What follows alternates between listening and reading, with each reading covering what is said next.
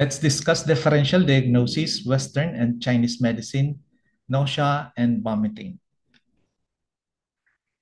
Duodenal ulcer, anorexia, nausea, vomiting, heartburn, GI bleeding. Functional dyspepsia, psychotropic drug use, anorexia, nausea. Irritable bowel syndrome, psychotropic drug use, anorexia, nausea, weight loss, vomiting, gastric ulcer, anorexia, nausea, vomiting, weight loss, esophagitis and, re and reflux without esophagitis, heartburn, anorexia, psychotropic drug use, uh, gallstone disease, weight loss, psychotropic drug use, anorexia, nausea. Gastric cancer, there is weight loss, vomiting, nausea, GI bleeding, psychotropic drug use alcohol-related dyspepsia, vomiting, anorexia, nausea, GI bleeding, weight loss. Significant indicators for this disease pattern, those with asterisk. Other possible causes, diverticular, diverticular disease, Crohn's disease, colon cancer, pancreatitis, drugs, the NSAID, opiates, antibiotics, hormone preparations, chemotherapeutic agents.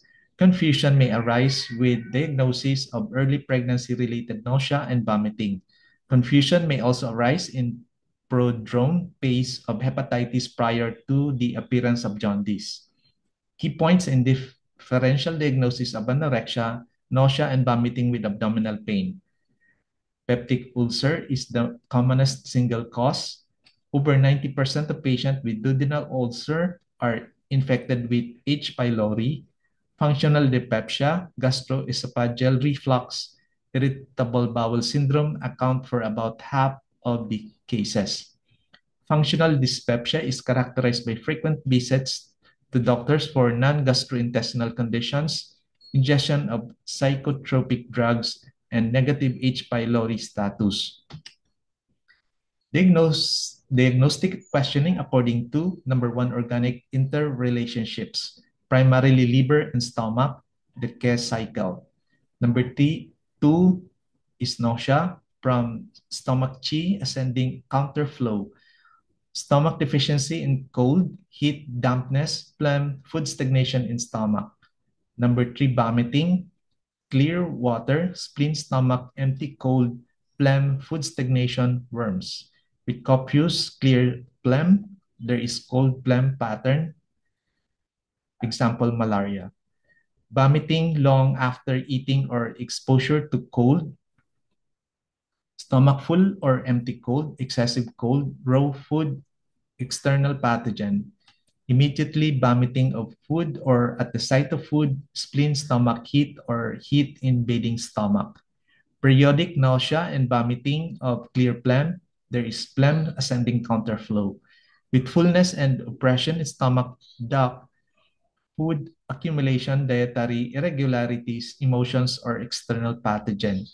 With distension and fullness in the chest and diaphragm, chi deficiency, vomiting from emotional disturbance.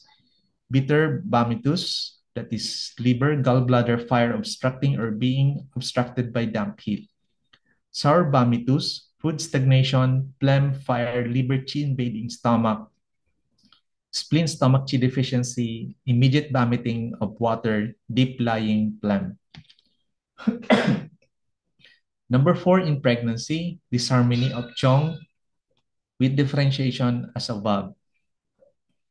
Kidney 27, kidney 21, kidney 6 with stomach 30 for persistent pregnancy nausea. Number five, Sangpu patterns, stomach, heart, fire stomach full of empty cold, stomach deficiency, liver chi invading the stomach, food stagnation in stomach. Thank you for your attention.